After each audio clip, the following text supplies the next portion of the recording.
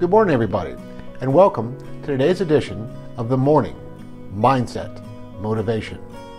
Today, I'd like to talk about David Daneshgar. If you haven't heard of him, he was one of the three guys that got together and formed this online uh, website for florists called Bloom Nation. What's most interesting is in the beginning, when they had the idea for this website, they needed $30,000.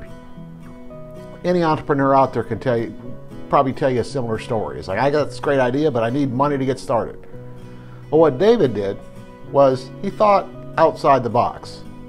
He didn't go to family and friends to try to borrow the money. He didn't try to line up any kind of investors. He didn't, he didn't try to, to take out a loan.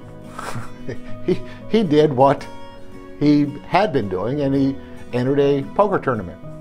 Cost $1,000 to get in, and if he won the tournament, he would get $30,000, the exact amount they needed to start this business.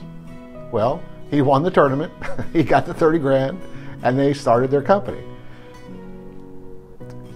Just a, uh, an example of someone who, again, thought outside the box, stayed focused on what he wanted to do, and found a way to make it happen. Anyway, that's our thought for the day, and I hope you all have a great day.